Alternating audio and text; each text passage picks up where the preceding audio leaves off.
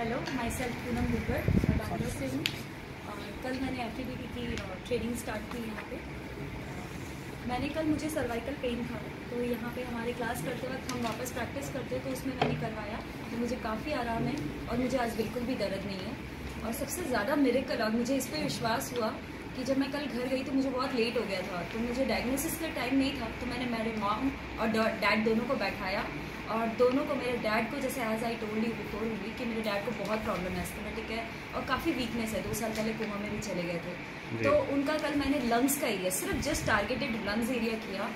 आज सुबह उनके लिए ऑलरेडी हमने वो कंटेनर लाया हुआ था कि उनको कफ निकाल के वो एग्जामिन के लिए भेजना है। पर इट्स अ मेरेकल मैं कह सकती हूँ कि उनको कफ ही नहीं निकला सुबह। मैंने कल रात को सिर्फ़ पाँच बार उनको मालिश करके छोड़ दिया उनको सुबह कफ ही नहीं मैंने बोला पापा कंटेनर में कफ डाल दिया।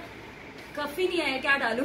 वेरी और मेरी मॉम को जैसे वेरिकोस की प्रॉब्लम है तो मैंने खाली टारगेट किया उनके नी और इस तरह के एरिया को। उनको कल रात को आराम से नींद आ गई और वो रात में चार से पाँच बार वॉशरूम जाती है। कल सिर्फ़ दो बार गई।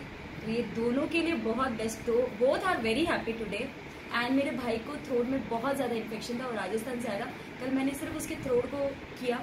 प्रेस किया, आराम से उसको भी नींद आ गई, इसको भी ठीक हो गया। सेकंड भाई को सर्वाइकल प्रॉब्लम थी, वो भी किया। चारों दे वो बहुत तो जल्दी से आज वापस फिनिश करके आ क्या बात